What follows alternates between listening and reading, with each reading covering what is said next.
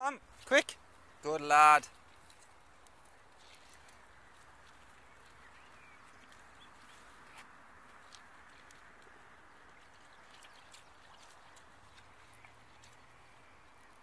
What's that sharp end, kid?